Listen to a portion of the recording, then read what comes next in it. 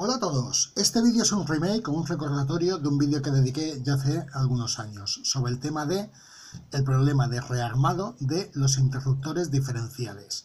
Si tenéis un interruptor diferencial que os ha fallado, que el mismo internamente está dañado y no se puede rearmar, una manera para salir del paso, al menos para dejarlo rearmado hasta el día siguiente si no tenemos recambio, no lo podemos sustituir todavía, el mismo, tal como veis, en este caso está fallando, tiene el muelle interno mal, no se puede rearmar.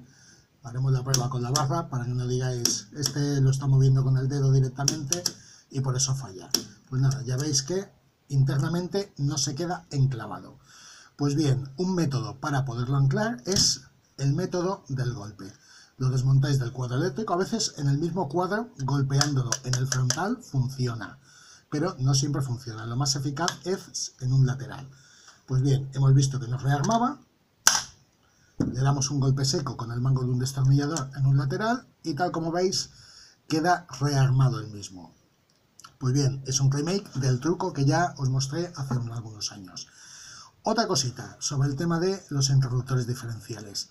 Tenemos un interruptor que es saltarín, es decir, cada cierto tiempo nos salta en el cuadro eléctrico. El problema ante un interruptor saltarín que no vemos una causa justificada de que pueda saltar, no vemos un problema en la instalación eléctrica, uno de los métodos, he dedicado ya otros vídeos a explicar cuáles serían los pasos a realizar, pues uno de los métodos eh, inicial de descarte sería, si disponemos de otro diferencial, sustituir el mismo de partida. Creo que hay que hacer otro tipo de pruebas y demás, pero bueno, es uno de los métodos de descarte. Si disponemos de recambio, sustituirlo para descartar el diferencial.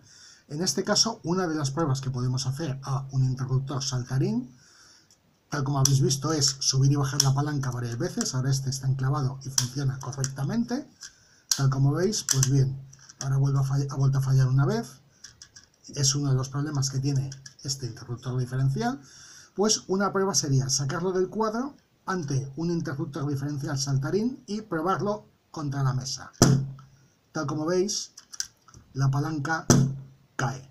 Por lo tanto, este interruptor diferencial es mucho más propenso a saltar, es saltarín, más que sucedería con otro interruptor diferencial que estuviera en buen estado. Como veis, no salta, tanto uno como por ejemplo otro. El que hemos visto primero salta directamente.